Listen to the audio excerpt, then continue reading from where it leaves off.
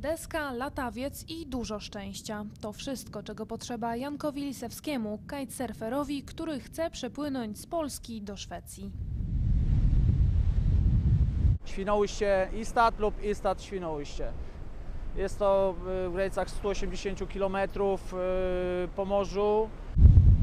Kitesurfer popłynie na desce bez asekuracji. Wyprawa ma potrwać 12 godzin. Obawiam się o nieprzewidziane, że tak powiem, warunki y, pogodowe, pierwsza sprawa, druga sprawa, no zawsze jest to sprzęt, w którym można, że tak powiem, co, co, nie, nieprzewidzianie coś może się wydarzyć. Kiedy tylko prognozy będą bardziej stabilne, Janek rusza w trasę. Takiego wyczynu nie dokonał przed nim jeszcze nikt. Monika Dykalska, Superstacja Gdańsk.